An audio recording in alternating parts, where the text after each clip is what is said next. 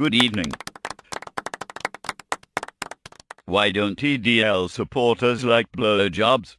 They don't like any jobs at all. what do you call 10,000 EDL supporters under the sea? A good start.